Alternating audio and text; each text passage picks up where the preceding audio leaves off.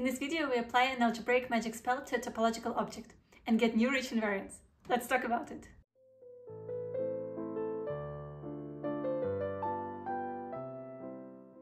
Hey, welcome to Math-Life Balance. This is the third video in the series K-Theory Wonderland, made with the help of my friend and colleague Peter Haine.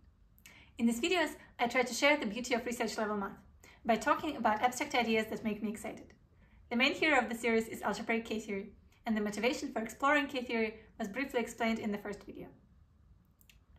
Disclaimer for today's video, if you don't understand what we are saying, don't you worry, it's okay, no one understood K-theory from the first glance anyway.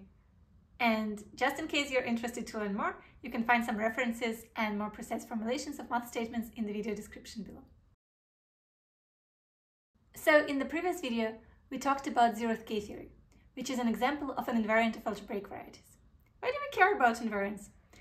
Well, in general, humans always tend to have a desire to classify things as a natural way to understand the world better. And in math, invariants help to do that. Moreover, invariants provide bridges between areas of mathematics by making different objects relatable. Another beautiful way to think about invariants is that they play the role of adjectives in the mathematical language. They are the epithets that we use to describe, for example, geometric shapes. Without invariants, we wouldn't have a precise language to do it. So how do invariants help us to classify algebraic varieties? For example, if two varieties have different values of the same invariant, then they certainly cannot be the same, cannot be isomorphic.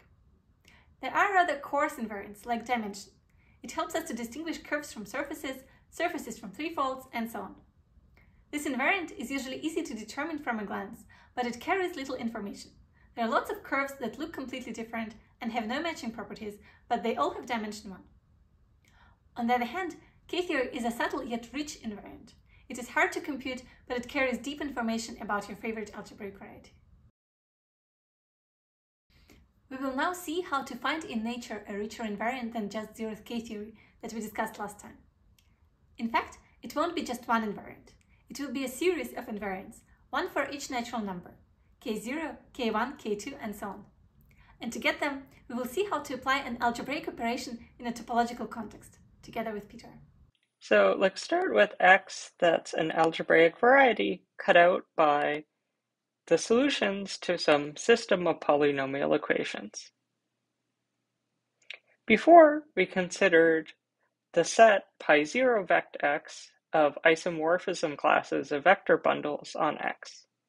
But we can consider a more refined invariant, vect X, which is the space or CW complex of vector bundles on X, where the points are vector bundles on X, and edges or paths between these points are isomorphisms of vector bundles. So this is really like a graph, and in particular, it's a space that has no homotopy above pi 1.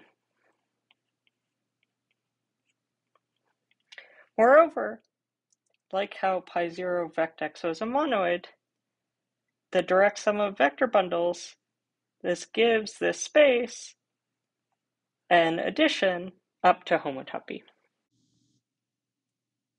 It turns out that there is a version of the group completion procedure for spaces.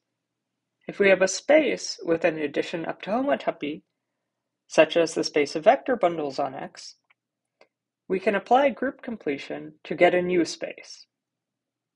In analogy with the definition of K0, we define the K-theory space, K of X, as the group completion of the space of vector bundles on X.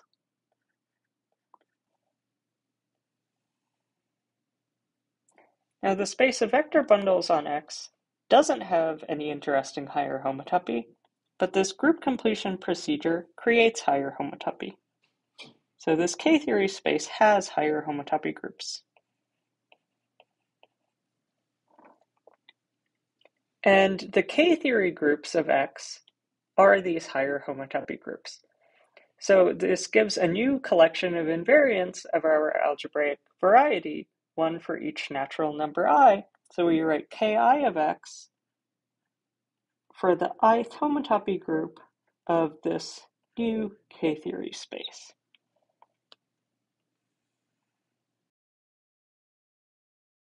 So, what does the group completion spell do to a space? It takes a space that has addition up to homotopy and artificially adds negatives to this space.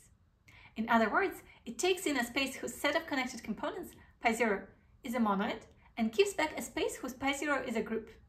This group is exactly the group completion of pi 0. And that's why zeroth K-theory in the definition that we just saw agrees with zeroth K-theory in, defined in the previous video as the group completion of the monoid of isomorphism classes of vector bundles. However, the magic of group completion is that the spell does not just change pi zero. No, it messes up completely all the homotopy groups of your space in an unpredictable way. In our example, we started with the space of vector bundles on an algebraic variety.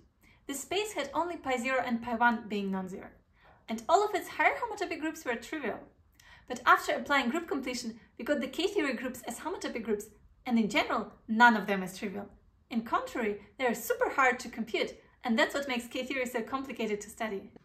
So basically, group completion does what you ask it to do on the zeroth level of the space, for the price of creating chaos on all higher levels, which mathematicians then spend a lifetime trying to understand. Luckily, there is an example in which all K-theory groups can be computed. Let's see. We saw earlier that the K0 of an algebraic variety, in simple cases, can be described in terms of projective modules. This is also true for the K-theory space. For a ring R, we can take as the definition that the K-theory space of R is the group completion of the space of projective R modules where the addition is given by the direct sum operation. This lets us describe what the K-groups of finite fields are. So we'll look at a finite field fq where q is a prime power. And like any field, there's one vector space for each dimension up to isomorphism. So k0 of fq is a copy of the integers. So k0 can't distinguish between the different finite fields fq. However, the higher k groups can. In positive even degrees, it's actually zero. However, in odd degrees, 2j minus 1, the K-theory of FQ is a cyclic group Z mod Q to the J minus 1. In particular, this group can distinguish between the different fields FQ. As we just saw, K groups appear from applying the magic spell of group completion in a more abstract context, to the space of vector bundles rather than to the monoid of vector bundles up to isomorphism, as for zeroth K-theory. This way one gets the space of algebraic K-theory, which in turn gives algebraic K-theory groups as its homotopy groups. Next Friday, we will talk more about the beauty of this idea, about the power of climbing up to a higher level of abstraction, and what a view of the valley you get to see from that peak. I only ever wear makeup to celebrate group completion.